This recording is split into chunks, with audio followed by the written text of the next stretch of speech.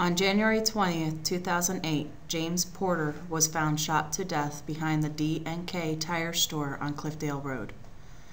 He was last seen with friends earlier that night in the Skibo Road area. This picture depicts a satellite image of the intersection of Cliffdale and Pritchett Roads where James Porter was found in Fayetteville, North Carolina. After James Porter was shot, he was robbed of his personal possessions and left in a semi conscious state. He was transported to Cape Fear Hospital where he succumbed to the gunshot wound.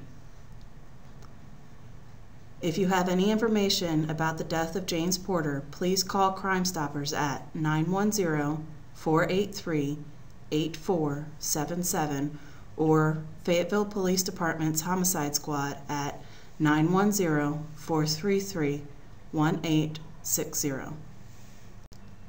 Crime Stoppers may reward up to $1,000 for any information leading to the arrest of the person or persons responsible for this crime.